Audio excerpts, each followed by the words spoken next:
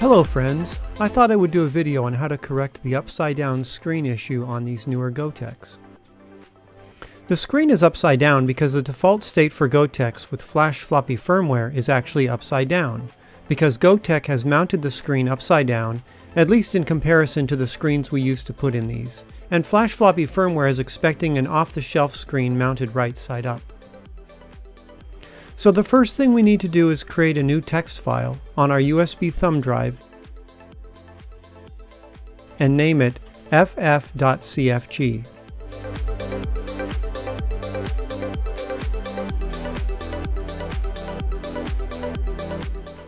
Then we want to open the new file in a text editor.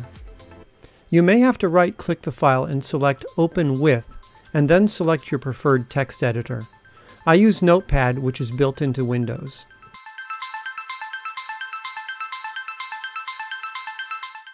Then we just want to add a single line of text as follows.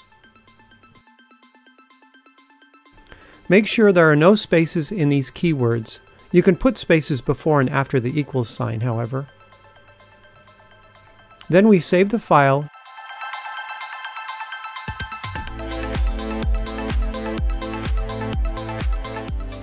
eject the USB thumb drive, and put it in the Gotek.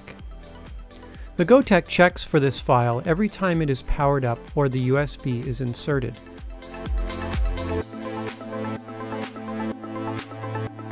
You can see that the screen rotated and then loaded my first image.